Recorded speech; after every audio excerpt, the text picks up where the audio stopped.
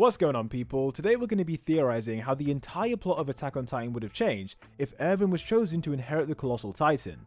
In this video, we'll explain how the war against Marley would have had a completely different outcome, and how those events would change the future of the island. Along the way, we'll also be expanding on certain subplots from the main show, including military police corruption, the importance of the Tybur family, and whether or not Historia will inherit a Titan. Before we get into it, don't forget to smash that sub button and drop a like if you want to see more content like this, and be sure to stick around till the very end of the video so you don't miss the biggest surprise of this whole series so far. Okay, so part 3 picks up where the last video in this series left off, with the Warhammer Titan confronting the scouts in Liberio. Given everything that's happened, it'd be pretty obvious to her that Zeke has betrayed Marley, and before anyone can react, she sends spikes directly through the Beast Titan. This would be followed up by doing the same thing to Eren as well, meaning that within just a few seconds, Lara Tybur would have used her hardening against three separate enemies. In response to this, Zeke would call out for his Pure Titans to defend him, and across the city they'd each start running towards his direction. At the same time, Mikasa would spring into action from the rooftops and fire a solid amount of Thunder Spears at the Warhammer Titan's neck. This massive explosion would send it crashing into the ground as if it was dead, giving the Jaeger Bros an opening to free themselves from the spikes of hardening. I imagine Zeke would then take a minute to free Floch's Pure Titan, which was suspended in the air from the previous video, while Captain Levi would swoop down to retrieve the helpless Reiner. Outside the internment zone, Commander Erwin would still be walking around in his Colossal Titan, but he'd begin to emerge as a whole fleet of airships descend from the clouds. These airships would all belong to Hizuru's army, and their arrival would be part of the wider plan to defeat Marley. Within the next 12 hours, the combined forces of Asia and Paradis are planning to force the Marleys to surrender by launching coordinated attacks on their key military bases. This includes destroying the airship base in Fort Salta as well as other significant locations, and the scouts will need to split into teams for this to happen. With Erwin having seemingly destroyed Marley's chain of command in the last video, the next 12 hours is super important as it's best to strike now before Marley has any chance to reorganize itself. As the airships get closer, Erwin would then fully exit the Colossal and hitch a ride to the center of the zone where the Warhammer Titan is fighting for its life. At this point, all of Zeke's Pure Titans are now in the area, forcing Lara to defend herself from Pieck's dad, Porco's mother, and Floch, not to mention constant Thunder Spear attacks from Mikasa. In a situation like this, the Warhammer would have to keep using more and more hardening to stay in the fight, which by default drains more and more energy. Now, after the side, Porco would have manifested a new Jaw Titan so he can try and take down Eren, but Zeke would make a move to defend his younger brother. In particular, he'd command his last remaining Pure Titan to attack, and if you do the math, you'll realize that this Titan here is actually Porco's own father. Earlier that night, Mr. and Mrs. Galliard was spiked at dinner with Zeke's spinal fluid, alongside Reiner's mother and Pieck's dad. But with Karina being squashed in the last video, only three of the parents became Titans when Zeke eventually screamed. The Beast would try to psych Porco out by telling him this, and it wouldn't take long for the warrior to realize that this isn't a bluff, since the Titan attacking him would look exactly like his own dad. He'd then look over to see his mother fighting against the Warhammer, and this is the moment when his soul would break in two. Galliard would consider for a second whether he should just let one of his parents eat him, but while he's distracted, Levi would pounce in to chop off the Jaw Titan's legs, with Eren following this up by ripping off his arms and smashing his face into the ground. Meanwhile, the Warhammer Titan would also be getting seriously overwhelmed, and in this moment she'd have to use her last drop of energy, which is precisely what Zeke had been waiting for. His strategy from the beginning was to wear her down using his minions, and having now witnessed her final desperate attack, he'd launch a pitching assault to finish her off.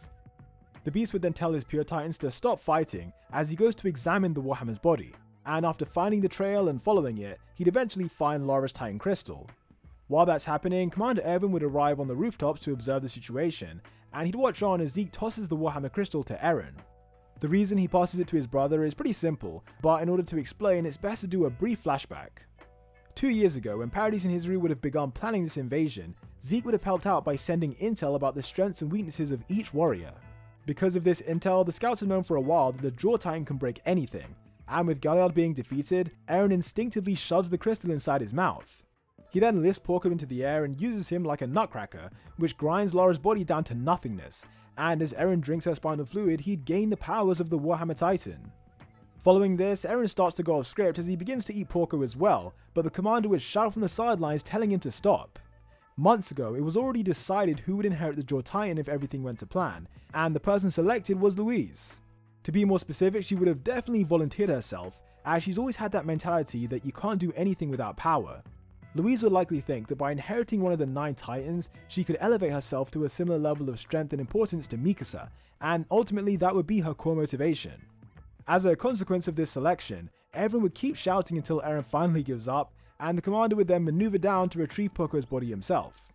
In the process, all three of the warriors have now been captured by the Survey Corps, and the plan is for the Jaw and Armor Titans to be eaten here in Liberio. When it comes to the Cart Titan, everyone will want to keep her alive for insurance purposes, because if someone gets injured on the battlefield, then her Titan can be used to bring them back to life. Anyway, Eren would then exit his attack Titan, and I imagine that him and the other scouts would have final things they'd want to say to Reiner before he dies. Once that's all said and done, Zeke would give Floch's Pure Titan the order to eat him, and sadly for him, there wouldn't be enough plot armor to save the warrior this time around. Everyone would be watching on as Floch chews Reiner like a piece of gum, and as a quick side note, I reckon that Erwin's first choice to get the armor Titan wouldn't have been Floch, but actually I think it would have been Jean. His leadership qualities would have made him one of the ideal candidates to inherit a shifter, but after speaking with Hanji about it, they realized that making this choice would probably damage their relations with Eren. Soon after, Floch would have completely finished eating Reiner, and Louise would now be preparing for her own transformation. Just like Floch, she'd drink a vial of Zeke's spinal fluid, and the advantage of doing it this way is that her Titan can be controlled. This means if something goes wrong, they can always improvise, as a Titan that can follow instructions is a lot more useful than one that just does what it wants. Sometime after Louise drinks the fluid, she maneuvered down to the ground and gives Zeke a signal to let him know that she's ready. The beast would then scream at the top of his lungs for the second time today, and once she's a pure titan, he'd waste no time in ordering her to eat Porco. As she goes to take a bite out of the warrior, a large explosion suddenly happens out of nowhere in a nearby part of the internment zone. The building that exploded was the one where the cart titan was being held, and from where Evan's standing he can clearly see the flames taking over. In response, he'd instantly send Levi and a few others to take a good look, while everyone else stays where they are to make sure nothing happens to Louise. Meanwhile, on the streets of Liberio, Commander Magath would be on the run with Pieck, as the two of them are trying to find out what's going on. Having both recently escaped near-death situations, the only intel they know for sure right now is that Zeke has switched sides. Magath would therefore want to find answers by running in the direction of the Beast Titan's last scream, and a few minutes later they arrive in Reiner's old neighborhood. From a distance, the two of them would observe as Louise emerges from her pure titan, and seeing this would make it fairly obvious that Marley just lost one of their shifters. I think Magath's first thought would be that Louise must have eaten the Warhammer, because across the battlefield there'd be a bunch of hardening left behind by Lara Tybur. As Pieck scans the area for any sign of Reiner and Porco, she noticed that standing next to Zeke are three familiar looking Pure Titans. Their calm behaviour would indicate that they've been created by the Beast Titan, and by looking at their faces I'm pretty sure she'd wonder whether she knows these people. Pieck being Pieck, I'm sure it wouldn't take that long for her brain to start putting the pieces together, and she'd soon remember the wine that Zeke gave them to drink. At the same time, up on the rooftops, Commander Erwin would now be eager to move on to the next phase of the invasion. His aim is for the scouts to split into their respective teams and get on the airships, because if they stay in Liberio much longer then it'll only end up risking lives for no reason. Because he wants to wrap things up, he asks Sasha, Connie and Jean to kill the three remaining Pure Titans in the area, while Pieck watches on in complete shock. By now, she's fully realized what Zeke must have done to her dad, and Magath would have to hold her back as she's desperately trying to run to him. Remember, the whole reason she became a warrior in the first place was so that Mr. Finger could get medical treatment, and in doing that, she's proven that she's willing to sacrifice her own life in order for him to live. In that sense, it would be very in character for her to try and get herself eaten by him so that he can turn back into a human, but there's no way Magath would want that to happen. For a start, he'd remind Pieck that her dad likely wouldn't want to survive if it meant he had to eat his only child in the process. The guilt would be way too much for any parent to handle, and Mr. Finger would also become a target for the scouts if he inherits the Cart Titan. For those reasons, Pieck would stop to think about whether sacrificing herself is the right thing to do, but before she can decide, Jean swoops in and kills her dad instantly. Seeing this from a distance would understandably make Pieck hysterical, and she'd likely just want to rush in there and get revenge, because her dad was her only family. That being said, Magath would try his best to convince her not to, and the two of them would get into a heated debate about what they need to do next. Now, in case you're wondering about Captain Levi, he would have arrived outside the burning building alongside the other scouts who were sent along. Their main priority here would be finding any survivors, with Hanji and Nile being two of the people who were supposed to be inside. At first, Levi would call out to Hanji from the street, but after not hearing any reply, the captain would 100% make the decision to go in. The flames inside would be so intense that I don't think even he'd be able to survive for long, but what he'd do is quickly sprint through the building trying to find any signs of life. As he enters the room where the cart titan was being held, he noticed body parts all over the floor, and off to the side he'd see Hanji's broken goggles. Based off all the damage in the room, Levi assumes that something happened here that triggered a Thunder Spear explosion, although right now he doesn't have time to investigate as the flames continue to get more and more intense. The captain would pick up the goggles from the floor as he makes his way out of there, and on his face there'd just be a glum expression as he exits the building. As the other scouts approached him, he let them know there were no survivors, and in his mind, the cart titan has to be the one responsible. One way or another, Pieck managed to escape while everyone else in the room was blown to pieces, so clearly something must have happened, and Levi would tell his subordinates to search the area for clues on where she might have gone. Switching back to Reiner's neighborhood, by this point the Survey Corps would begin separating into their different teams, and Eren's team arguably has the most significant job. Their mission would be to completely destroy Fort Salta, which is an airship base located in the south of the continent.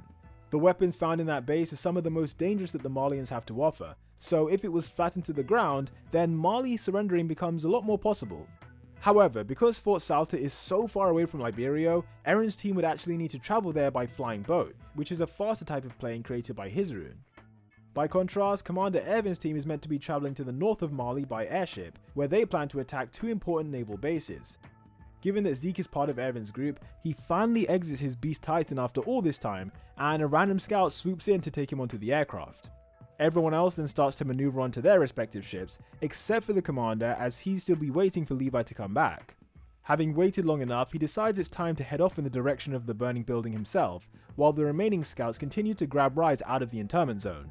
Three of those remaining scouts would be Sasha, Connie, and Jean, who would be on the rooftops trying to remember which ship they need to be on.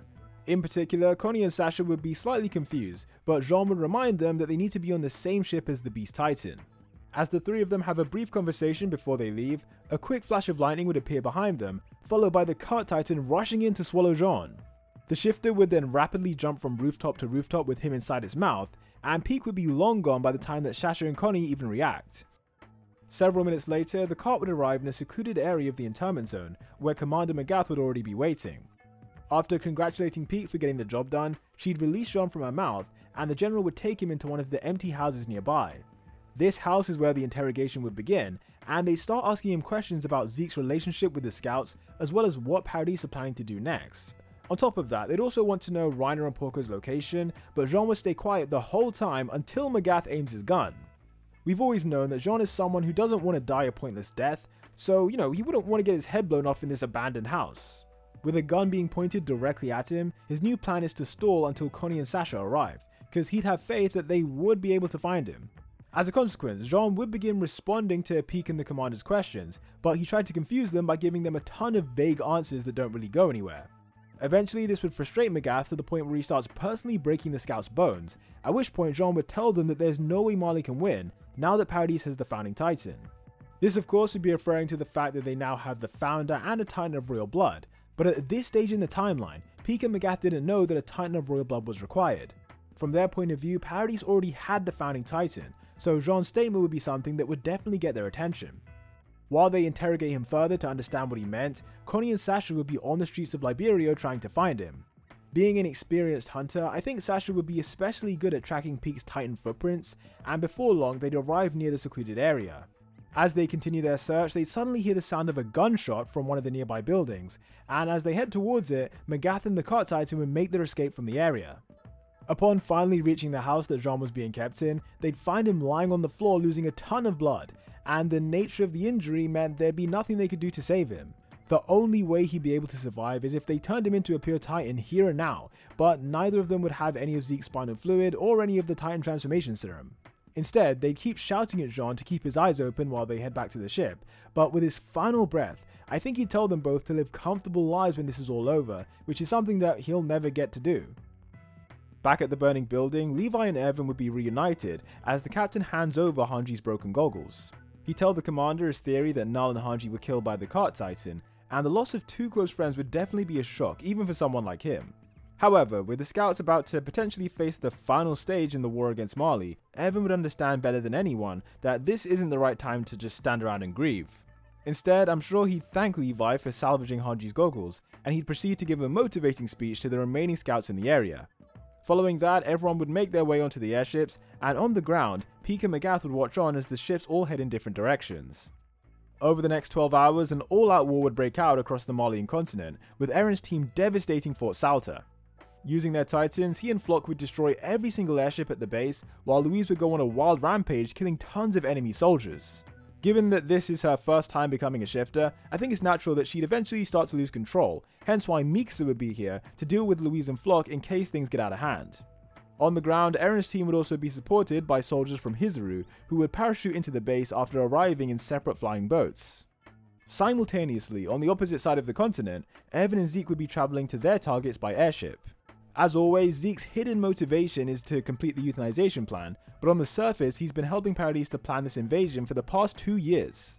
During that time, he gave them valuable intel to gain the commander's trust, and once the war is over, he believes that he'll finally be accepted onto the island and allowed to speak to Eren. Erwin, on the other hand, would see things a lot differently, and I'll try to explain his thought process. Considering that the Beast Titan massacred the scouts, Erwin would have zero faith that he actually wants to help them, meaning that Zeke must have a hidden motivation. While the commander wouldn't know for sure what that hidden motivation is, it doesn't take a genius to realize that it's something to do with the founding titan. Because of this, Erwin would understand that Paradis has what Zeke wants, and as Yelena revealed, the warriors wouldn't be returning to the island anytime soon. What this meant is that Zeke's last remaining hope to come to the island and meet his brother is dependent on the scouts, and so Erwin used that to their advantage. For the past two years, the commander forced the Beast Titan to prove his loyalty by sending them valuable intel, and this was all in the promise that he'd get to talk with his brother in the end. Zeke had to accept this proposal because he quite literally had no other option to get to Paradis, and after everything he's done, he assumes that Erwin now trusts him. In reality, he'd already made plans for Zeke to be detained underground as soon as they arrive on the island, and if everything goes to plan, he'll never meet Eren again. In that way, both of these men have hidden motivations that they're hiding from each other, but on the surface they're pretending to be comrades. 19 hours after the attack in Liberio, the Marleyan military would have suffered their worst day in recent history, forcing Willy Tybur to think about their options. With Fort Salta being destroyed, Marley no longer has any weapons that can kill Titan shifters, meaning they're pretty much helpless if these attacks continue. As Willy considers what they should do next, Commander Magath and Pieck would arrive to discuss what's going on. Based on the information they were able to get from Jean, they now know that Zeke is a Titan of royal blood, and that together, the Jaeger Bros can activate the full potential of the founding Titan. From Marley's point of view, this means the enemy can nuke them with the rumbling at any given time, making this whole situation even worse than it already was. The smart thing to do would be for them to surrender before they get trampled, but there's a couple of reasons why they'd hesitate. Reason number one is that Commander Magath would be thinking of Pieck, because if Marley surrenders, then it's likely she'll have to go on the run to avoid being captured and eaten. Reason number two is that if they give up, then it probably means the return of the Eldian Empire, which is something that the entire planet has been afraid of for the last 100 years. Despite that, Pieck would suggest a crazy idea that involves allowing both of those things to happen, because in the scenario that they find themselves in, it might be the only way to strike back at the enemy. After hearing the plan, Willy would have to think hard about it for a while, because if they do what she's proposing, then it means the end of Marley, at least in its current form. The upside, however, is that if this works, they'll be able to get revenge for the family they lost in Liberio, and the three of them will be known as heroes who save the world, just like Helos. For those reasons, Willy would agree to set Pieck's plan in motion, and several hours later the alliance between Hizuru and Paradis would receive a communication. This communication would be an official notice of surrender from the Marleyan government, on the one condition that Paradis stops with their ongoing attacks. Of course, the surrender is what Erwin had been hoping for the entire time, and after two years of preparation, the scouts would have managed to defeat the biggest military force on the planet. The fallout from this victory would have huge ramifications in all corners of the globe, but first, let's do a quick recap of what would happen on the island over the next few weeks and months. To start things off, all surviving scouts would come back home to a hero's welcome, but for members of the 104th Cadets, the celebrations would be overshadowed by something else. Eren and Mikasa in particular would only find out about Jean's death once they arrive, and to say they'd be devastated is putting it lightly. Not only was Jean a close friend that had a huge impact on their lives, but after losing Armin a few years ago, this death would make Eren feel like a broken man. During the following days, there'd be funerals for all of the fallen soldiers, and on top of that, there'd also be big political changes too. Firstly, Eren would have now led the scouts to impossible victories in Shiganshina and in Marley itself, and so his level of popularity across the island would easily reach legendary status. Having sensed the overwhelming public opinion, Zachary would announce his intention to retire at the end of the year, with Erwin being chosen as his successor. As Commander-in-Chief, Zachary is head of all three military branches, and so at the end of the year, that responsibility would be passed down to the Colossal Titan. The knock-on effect here is that the Scouts would also need someone to replace Erwin before the year is up, but with Hanji and Jean both dying in the war, two of the best potential candidates aren't even a possibility. In terms of ranking, Levi would be the next logical person to be commander, but he almost certainly wouldn't be interested, so the door would be left open for other people to make their case for it. In terms of other big changes for the island, the next inheritor of the female titan would be another big issue. For the past four years, Annie has been chilling inside her crystal, but as shown in Liberio with Lara Tybur, the scouts have a solid blueprint for breaking her out of there. Using Louise's power, they can crush Annie and feed her spinal fluid to a pure titan, but the question is, who would be worthy of eating her? This is where the politics creeps in, as the crystal has been in military police custody ever since she was first captured. Given that the MPs have been looking after Annie this whole time, the higher ups would feel like one of their people should be the next female Titan. Doing this would drastically improve their declining image, with the average citizen perceiving the MPs as useless and corrupt, despite them technically being the most prestigious military branch. As a consequence, they'd pull some strings to have one of their soldiers selected, and the specific person they'd want to inherit the female would be Hitch. It's not that Hitch would be the best candidate for the job, but rather her story is what would improve the image of the military police. As Annie's former roommate who was betrayed and the main person who looked after the crystal, they could easily spin this into a narrative that would gain the respect of ordinary people. Of course, Hitch herself would be reluctant to shorten her lifespan just so that MPs can look good, but the higher ups would try to bribe her with huge financial incentives. At first, I think she would consider accepting this, however, this shady scenario would remind her of Marlowe and his crazy ambition to clean up the MPs. Seeing a real chance to try and make that dream a reality, she would agree to inherit the female titan, but only under certain conditions. The conditions she proposed would be the first big step towards wiping out corruption in the military police, and the leadership on the island would personally agree to make sure it happens. As a result, seven months after the victory against Marley, a ceremony would be held in which Annie's crystal is crushed by Louise and fed to Hitch's pure titan. In the process, she'd become the fifth member of the Titan Shifter unit, alongside Floch, Louise, Eren, and of course Commander Erwin. Now, in case you're wondering about Zeke, he'd currently be locked up as a prisoner in this special mountain facility. This secret facility would be far away from civilization, and the beast would have been brought here only a few hours after the war was over. It's important to remember that Levi was on the same airship as these two, and so as soon as they touched down on the island, the captain would have instantly chopped off Zeke's limbs and his tongue to stop him from transforming. From there, the beast was taken to this special prison, which was specifically made so they could restrain him away from the rest of society. Unfortunately for Zeke, being betrayed by Erwin has meant that he's not had any chances to speak with Eren about the euthanization plan, and with his time as the Beast Titan running out, it's not looking good. Anyway, switching over to the continent, there'd be some big changes there as well, with the Marleyan government now being under Hizuru's control. From the beginning, the main goal of the Azumabito was to restore their nation to its former status, and that's now become possible thanks to all the weapons, the land, and the resources they've gained from this invasion. That being said, around the world there'd be a very mixed reaction to the news of Hizuru taking over, and I'll explain the reasoning behind this. To start things off, the reason Marley was so hated was because they used titans to invade a ton of countries, and so in that sense a lot of people would be happy that they lost. However, as a result of Marley losing, the Island Devils now have 8 of the 9 Titans, including the founder, making them way more dangerous than the Warriors used to be. This level of strength would cause many nations to be afraid of what Eldia is planning next, and in particular, they'd fear that what just happened to Marley could also happen to them. The combination of Eldia's titans and Hizuru's weapons is a force that can destroy any country on the planet, and so these countries would be feeling pretty tense about the situation. To help ease these tensions, the Azumabito would grant independence to several nations colonized by Marley, including Onyankopon's home country, and this would be an attempt to prove that they can be trusted. On a similar note, Eldia would sign a declaration promising never to use pure titans, but there's a reason why these promises wouldn't be enough to stop the growing hatred against them. Ever since the war ended, Willy Tybur would have been using his influence behind the scenes to manipulate public opinion, it's been established that the Tyburs have strong connections to very important people, and seven months ago, Pieck's theory was that these connections could be used to form an alliance against Eldia. Because Willy believed in this plan, he fled the continent after Marley surrendered, and since then he's been going from country to country warning politicians about the dangers of the rumbling. He'd explained to leaders of every nation the significance of Eldia now having the founding titan and a titan of royal blood, and people would take him seriously because of how well respected the Tybur family is. As a consequence, it wouldn't take long for anti-Eldia and anti-Hizuru propaganda to start appearing in newspapers, as this would be used to generate more fear towards the island. The story that would be told to the world is that the Jaeger brothers are planning to revive the old Eldian Empire, and that Hizuru were helping them by giving the island weapons and technology. Eventually, all this panic would lead to the formation of a secret military alliance just like Pieck predicted, and in the present day, her plan to get revenge would be in the final stages. Back on the island, the military higher-ups would be holding talks about what they should do next, as things wouldn't have played out the way they expected.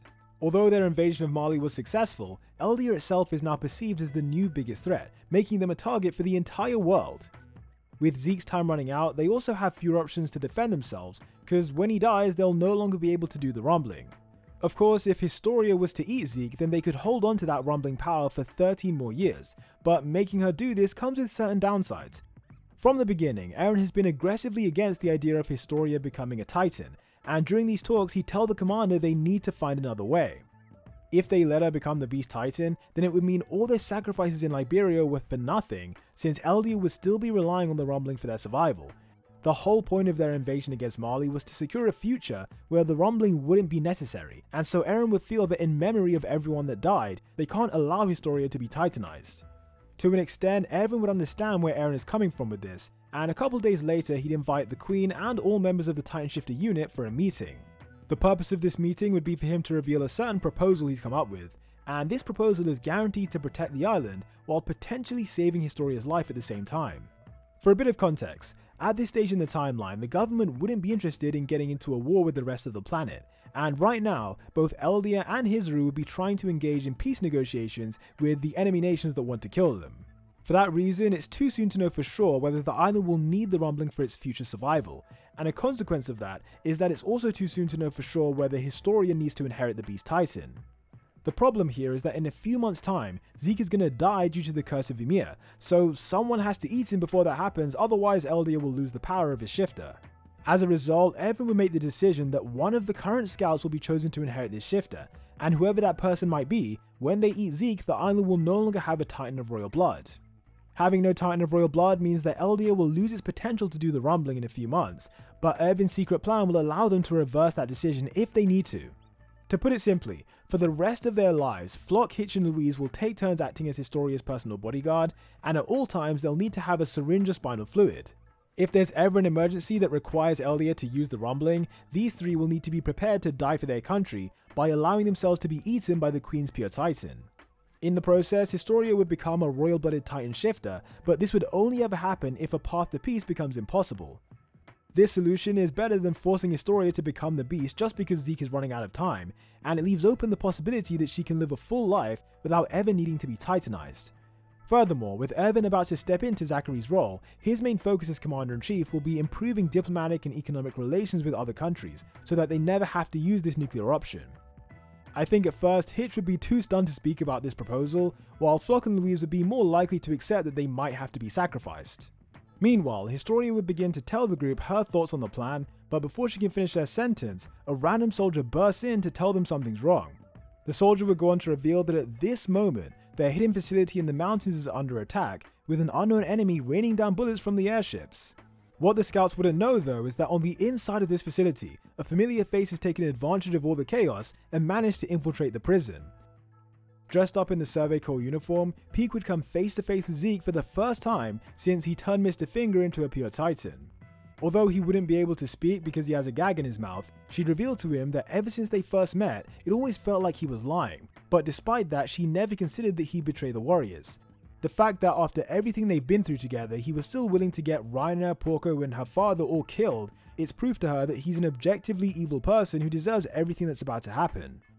Going beyond their personal grudge, the Coordinate is a power that also can't be trusted in the hands of the Jaeger brothers, and so Pieck would bite her thumb to transform into the Cart Titan. In this form, she pounces forward to kill him by crunching through his spine, and she snaps off the top half of his body. As she chews into him, she technically merges the Cart Titan and the Beast Titan into one, but more importantly, by doing this she's taken away Eldia's most powerful weapon, which sets the stage for the Global Alliance to make their next move. With that said, that's the end of part 3 of What If Erwin Got the Colossal Titan, and if you liked it then I'd appreciate if you shared the video, dropped a like and subscribe so you don't miss future videos like this. I also want to shout out all the different artists who drew things for this video, their links are in the description so be sure to check them out, especially Volupio who designed the most pieces out of anyone. As always, thanks for watching, and I appreciate your patience in waiting for this to come out, because it did take a, a lot longer than expected. And uh, until the next one, peace out.